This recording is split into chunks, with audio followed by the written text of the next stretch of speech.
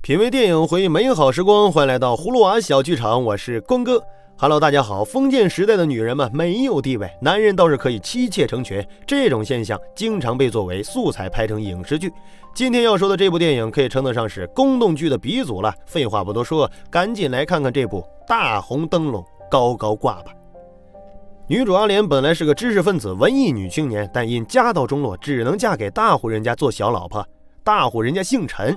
陈家姨太太很多，规矩也很多。陈老爷想宠谁呀，就给谁院里点上大红灯笼。除此之外，被宠幸的姨太太还有老妈子给做足底按摩。阿莲初来乍到，自然被点了灯笼，做了足疗。可到了半夜，三姨太却开始作妖，派人来说自己有病，硬是把老爷给哄走了。第二天，阿莲按照陈家的规矩去给各位姨太太们请安。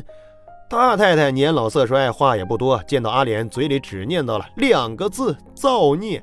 这让阿莲很疑惑。二太太是个笑面虎，见谁都亲。至于三太太的人设，我们可以参考《情深深雨蒙蒙》里的雪姨。老妈子给阿莲安排了一个丫鬟，这小丫鬟阿莲一进门就见识过了，很有个性，靠着自己的几分姿色颇受陈老爷怜爱。她也一心想要飞上枝头变凤凰，可阿莲的到来让她幻想破灭。丫鬟心里暗戳戳的和阿莲较劲，可阿莲也不是省油的灯，上来就给她一个下马威。解决完丫鬟后，一大家子开始吃饭。这吃饭也有门道，谁被点了灯，谁就有资格点菜。阿莲的新人待遇让三太太很是嫉妒，三番五次的把陈老爷接回到自己屋里。阿莲心气太高，对陈老爷的朝三暮四不仅不挽留，还赌气让他走。这下可惹恼了陈老爷。阿莲刚过门就失宠了。一天，三太太突然来找阿莲打麻将，在麻将桌下，阿莲看到了三太太和高医生暗地里做着见不得人的勾当。但是阿莲没戳破。就在这俩人斗来斗去的时候，二太太捡了个漏。不仅如此，二太太得了便宜还卖乖，话里话外的和阿莲说陈老爷多抬爱自己，让阿莲吃了醋。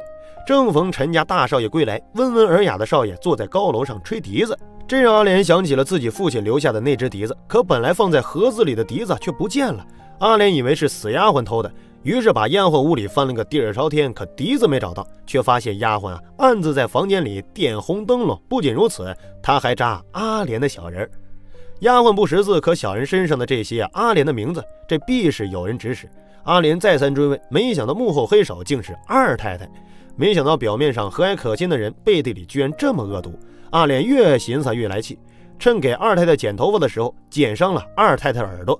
可惜偷鸡不成蚀把米。为了安慰二太太，陈老爷天天都点二太太的灯。阿莲没办法，只好靠假怀孕来骗取老爷的宠爱。可是纸是包不住火的，事情被丫鬟发现，报告给了二太太。阿莲直接被封了灯。你不仁，休怪我不义。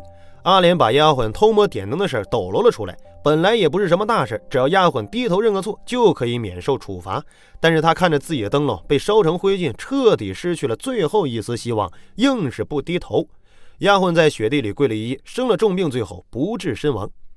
阿莲心中苦闷，于是借酒浇愁。但是他酒品不咋好，喝多了耍酒疯，还把三太太和高医生的丑事给吐露了出去。这偏偏被最恶毒的二太太给听了去。三太太直接被判了死刑。阿莲亲眼目睹了三太太被拖到了小黑屋里惨遭杀害，她终于承受不住压力，变成了一个疯子，穿着学生服，扎着麻花辫，整日在院里乱转。到了第二年夏天，陈家又迎娶了一位五姨太。红盖头下少女的眼神是那么的迷茫又单纯，可说不定她会又变成下一个三姨太。看了这部电影，我只想说呀，女人何苦为难女人？封建社会害人不浅，还好我们生在现代。可怜了那些苦命的女子，一生被人支配，即便是红彤彤的大灯笼，也没法驱散封建思想的阴暗。影片用戏曲做配乐，热闹的锣鼓敲打声更是烘托了女人们的悲凉和孤寂。美好的时光总是短暂的，这次我们就讲到这里，下一期我们不见不散。喜欢葫芦娃小剧场的朋友，别忘给我们点赞、关注。评论哦。